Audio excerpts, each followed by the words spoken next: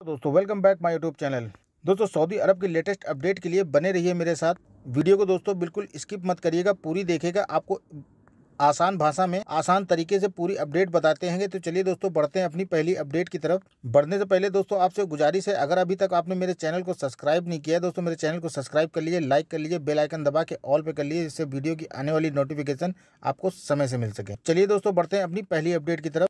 दोस्तों, सऊदी में पहली बार 30 से कम संक्रमण दर्ज किए गए मामलों में कमी के बाद सरकार ने दी डायरेक्ट प्रवेश की अनुमति। सऊदी स्वास्थ्य मंत्रालय ने कोरोना अपडेट देते हुए बताया कि गुरुवार को कोरोना वायरस के 28 नए मामले दर्ज किए गए। अड़तीस मरीज़ ठीक हुए। और एक मरीज़ की मृत्यु हुई। सऊदी में अब बहुत ही कम संक्रमण दर्ज किए जा रहे हैं। पहली बार सऊदी में 30 से कम संक्रमण दर्ज किए गए हैं। इधर सऊदी ने भारत समेत कई देशों के यात्रियों को डायरेक्ट प्रवेश की अनुमति दे दी है। कामगार इस फैसले से काफ़ी खुश हैं। वहीं दोस्तों, बताते चले अपनी दूसरी अपडेट की तरफ़। दोस्तों, सऊदी जीएसीए ने भारत यात्रा को लेकर जारी किया सेकुलर डायरेक्ट फ़्लाइट को प्रवेश को लेकर दिए गए निर्देश। सऊदी ने भारत समेत कई देशों के यात्रियों को डायरेक्ट प्रवेश की अनुमति दे दी है।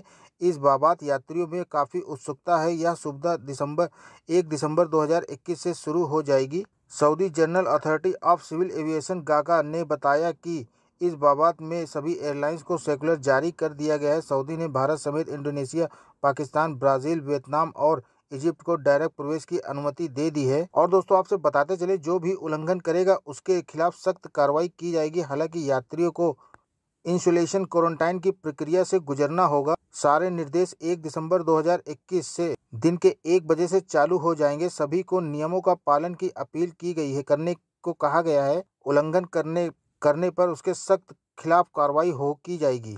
वहीं दोस्तों तीसरी खबर आपको बत, अपडेट बताते चलें जो कि भारत से है। दोस्तों भारत ने की घोषणा दोस्तों रेगुलर अंतर्राष्ट्रीय उड़ानों को संचालन 15 दिसंबर से शुरू, पीटीआई ने दी जानकारी। दोस्तों, भारत ने घोषणा की है कि रेगुलर अंतर्राष्ट्रीय उड़ानों का संचालन 15 दिसंबर से शुरू कर दिया जाएगा। हालाँकि 14 देशों को इन नियमों से बाहर रखा गया है, जिसमें यूके, फ्रांस, जर्मनी इत्यादि हैं।